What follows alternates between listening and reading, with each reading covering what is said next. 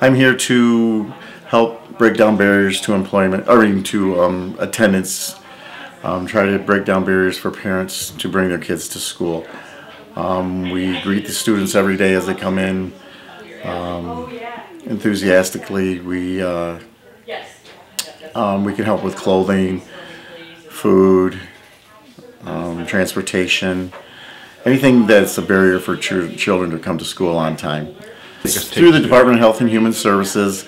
Um, it's called Pathways to Potential. It's been in Jackson County for about four years.